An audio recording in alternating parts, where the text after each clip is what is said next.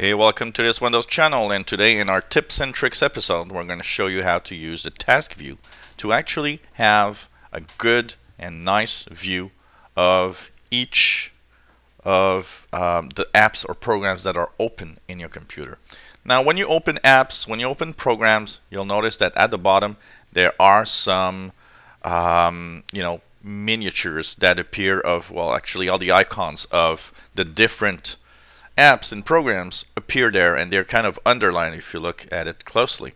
That tells you, well, okay, all of these are open and of course you can switch through them and say, well, I want to go to the store, I want to go to uh, Word or whatever.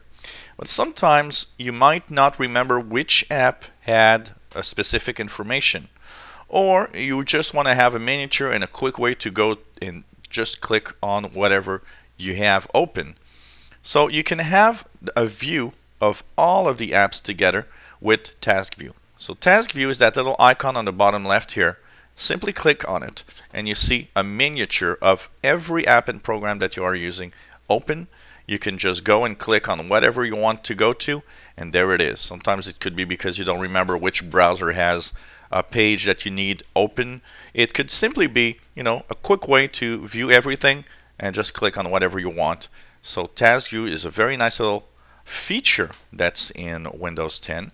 It exists in um, many versions of Windows, including Windows 7 and 8, but here they've really uh, made it even more um, easy to use because they just put the task view icon right there in the taskbar on the bottom right, uh, left. Sorry.